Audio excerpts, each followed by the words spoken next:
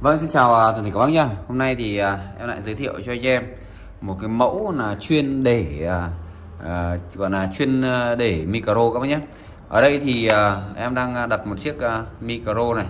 Đấy, tay mic này đặt vào một cái đế để mic. Đấy cái cái này thì thật ra là nó đơn giản thôi Thế nhưng mà lại rất là nhiều anh em cần.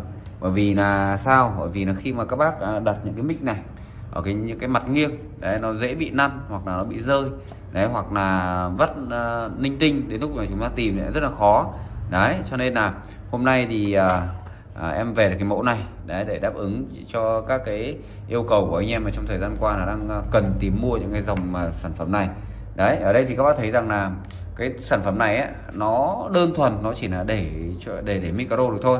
Thế nhưng mà nói về cái thiết kế họ làm cũng rất là tinh xảo đúng không ạ? Đấy rất là tinh xảo rất đẹp. Đấy mặt ngoài thì đều được uh, uh, dán một cái lớp giả gỗ này anh em đúng không? Đấy, dán lớp giả gỗ và nhìn nó rất là đẹp. Và khi mà các bác đặt lên cái bàn ấy cái bàn uh, uh, uống nước đó và cái bàn mà khu vực mà anh em hay uh, hát hò thì nhìn nó cũng rất là sang trọng đúng không? Nhìn nó toát lên cái vẻ cái, cái người chơi âm thanh là cực kỳ đẳng cấp. Đó nhìn nó rất đơn giản thôi. Đúng không ạ? Rất đơn giản thôi. Thế nhưng mà nhìn nó lại toát lên cái cái, cái sự đẳng cấp đấy sự, sự chất chơi. Đấy và cái giá thành của dòng sản phẩm này nó rất là rẻ. Đấy. Và đặt cho khi mà các bác nhìn này đặt micro lên thì nó rất là đẹp.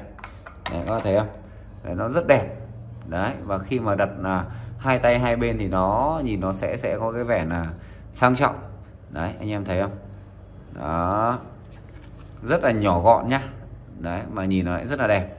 Đấy, và anh em à, cần à, mua sắm hay cần hỗ trợ gì thêm về cái sản phẩm này thì có thể liên hệ trực tiếp từ Tuyên Vũ nhé đấy, để được bên em hỗ trợ. Và xin chào các bác.